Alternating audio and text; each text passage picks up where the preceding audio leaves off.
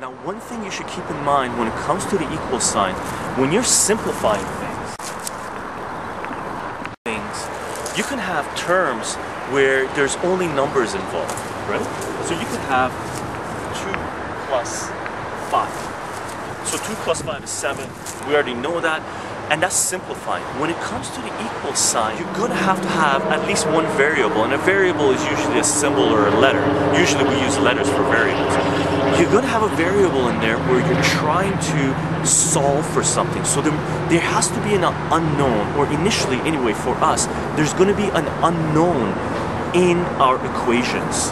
In our, when we start doing this So we're gonna have, you know, 2x is equal to 5. So there's going to be a letter in the symbol, okay? Keep this in mind.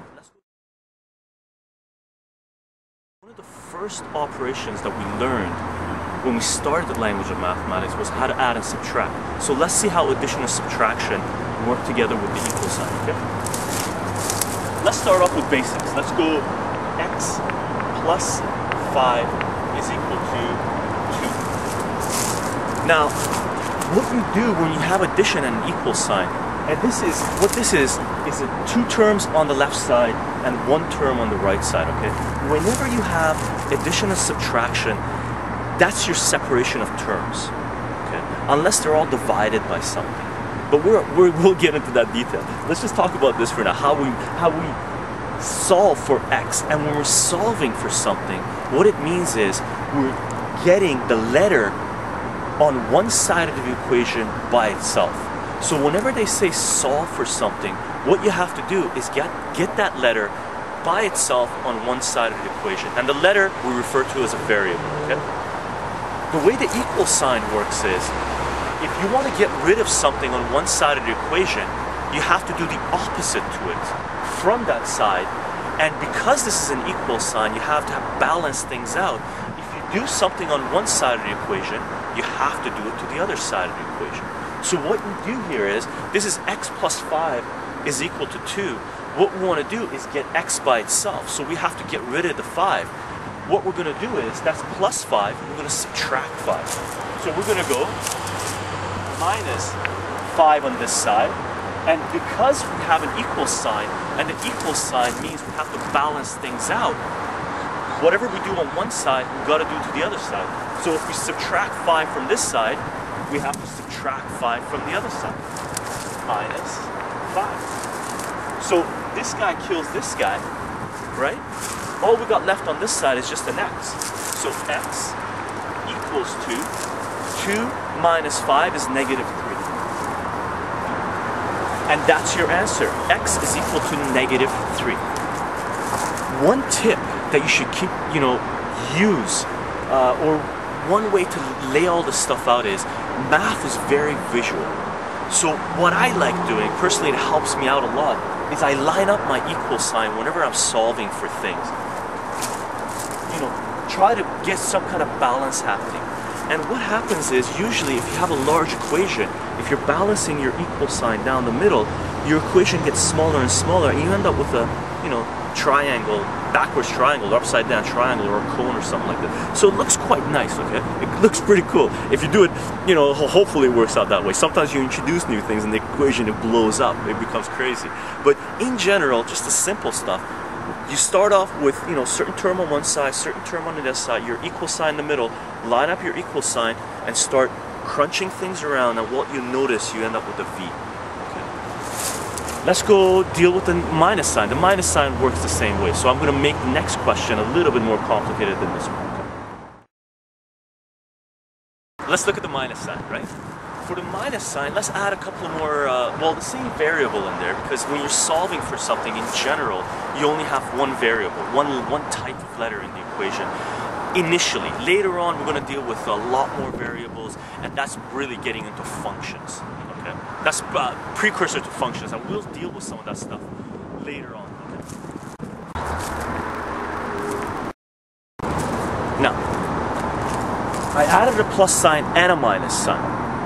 What we do with these types of problems, we have an x on one side of the equation and x on the other side of the equation, right? What we have to do when we're solving, when they say solve for this kind of thing, we have to get all the letters to one side and the numbers to the other side. And initially, there's only going to be one letter, one variable. So what you have to do is get the variable to one side and everything else to the other side. So let's start moving things around. Again, if you want to get rid of plus 5 over here, you move it to the other side. But what you should always do is simplify before you start moving things around. If you can simplify one side of the equation and simplify another side of the equation, then do that because that reduces the number of steps you have to do. Okay? So let's simplify this for now. x plus 5 minus 3. We can't combine these because they're not, you know, the same term, but we can definitely add these. The sign, as we said before in the first series, I think, the sign in front of the number always goes with the number, right? So that's a positive 5 minus 3, that gives you 2. So this side, you know, you can cross this out, it becomes plus 2. Right? So now you got x plus 2 is equal to 2x minus 1. What we want to do is bring the 2x over, take the 2 over there, right? Now, instead of doing, you know, subtracting 2 on this side and subtracting 2x on this side, what I like doing is circling them and moving them. Like, visually, it just makes sense to me. For, for some reason, it just makes sense to me. And whenever I do that, what it tells me to do is change the sign of the number. So what I do is grab this guy and say, this guy has to come over here, and that's plus 2, so that becomes minus 2. And this guy, I have to grab and bring it over here. Because we would normally just go minus 2x. What I'm going to do is just go, comes over, and this tells me as soon as I jump over an equal sign, it changes the sign. This was positive 2x, it becomes negative 2x. Now this may look complicated, just messy, but when you start doing these things, when you start, uh, the more you do, the simpler it becomes, basically. Okay, and you can deal with huge problems. Hopefully, we'll later on we'll go to a gigantic wall and I'll make a huge problem. and We'll go through it and you know draw all these things. But let's start. Let's continue with this thing. Okay, what you got here is negative two x, and that's a positive x. So negative two x plus x is negative x. Line up your equal sign. Negative x is equal to that's negative 1 minus 2. Negative 1 minus 2 is negative 3.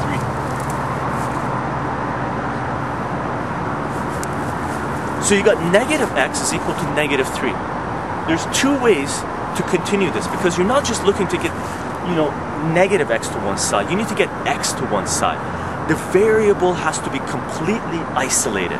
No negative numbers, no square root symbols. That's what that's what it means when they say solve for something. It means the letter, the variable, has to be completely isolated on one side and everything else on the other side. Okay? Now over here, we haven't isolated yet. This is negative x is equal to negative 3. Right now, we're just dealing with addition and subtraction, moving things around. Later on, when we do division, all you have to do is divide one side of the equation by negative 1 and divide the other side of the equation by negative 1 and the negative signs disappear. Or multiply both sides of the equation by negative 1. What we're going to do right now, because we're just dealing with addition subtraction, we're just going to move them, move this guy to the other side. So let's do this with a different color pen so it shows. So we're going to grab this guy, bring it over, and grab this guy, bring it over. The equal sign stays exactly where it is. Right? Negative 3 comes over the equal sign. Its sign changes. So this becomes 3. Negative x moves over the equal sign. Its sign changes. So that guy becomes x. So x is equal to 3. Okay? Let's go, let's take a look at uh, multiplication and division and see how we deal with those things. And you should be familiar with this if you, if you aren't already, and if you're just getting into this stuff, keep in mind if you do the equal sign means if you do want something on one side of the equation, you have to do to, to the other side of the equation. And if you want to move something from one side, or if you want to get rid of something on one side, you have to do the opposite to it. And if you're going to do it on one side, you have to do the opposite to the other side, okay? Let's go do um, division multiplication.